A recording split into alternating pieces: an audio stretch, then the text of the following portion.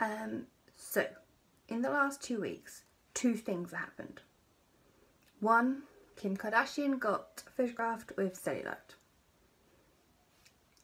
Yes.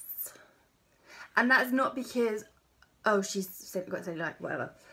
It's because she's natural. She's a woman. Well, she's not really natural, but she's a woman with cellulite. And how many of us have cellulite? I think it's like 80%. And I bet there's not more, but the other 20%, half of them don't want to, you know, acknowledge cellulite. It happens, we're women, we have cellulite.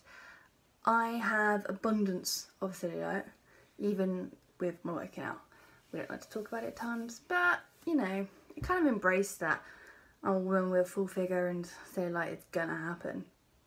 And the second thing, the second thing I'm absolutely beyond over the moon that this actually is a thing I just realised how preppy I look with, I didn't put my contacts in, so I can't see anything. So if I do this, I'm going to be squinting the whole time. But with the cardigan, it's just quite, my edgy rock chick really isn't working well today. Anyway, so the second thing is hip dips. I genuinely did not think that it was a thing and I just thought it was where my fat went in and everything was a bit gross. Um, and like you try, I try and do those twists in the gym, and I was like desperately trying to like tone it, but like it just doesn't really work. I'm getting general fat loss, which is always a joy, and we all want. Um, would have probably helped it. But hip dips are a thing, and it's where the muscle meets the other muscle, and there's an indent, and it's a completely logical thing. I genuinely thought I was an alien and I thought I had the like ugliest figure ever and ugh, everything was going wrong. Like this outfit look today. But it's great to know that it is a normal thing and women have it. Even fit women. Which I'm so, so excited about. And I just, it annoys me that there's so much negativity about cellulite and hip dips and fat and it's each woman is completely different.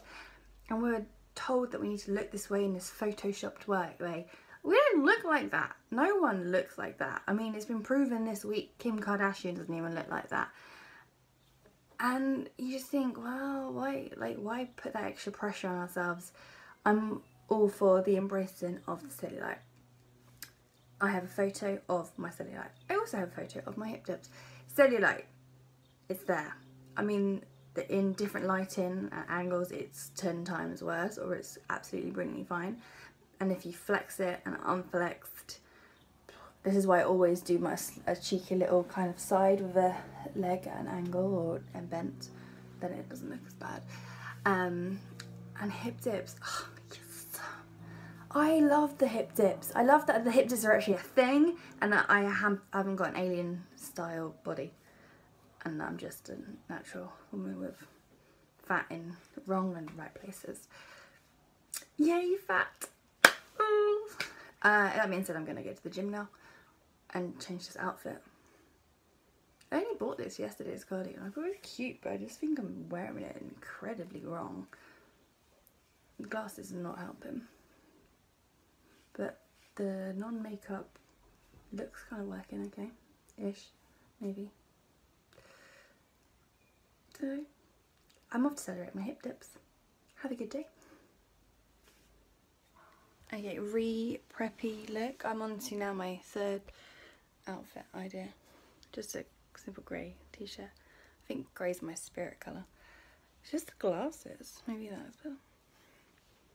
I'm having one of those days, those days when nothing looks good and or you just, I don't know, it's just, I've given up. Thursday, nearly the weekend, but nearly not. So today's just casual Thursday with aka preppy look. Boom. Maybe glasses are like as bad as cellulite. Depends on the angle. That's a good angle. Oh, let's end on that.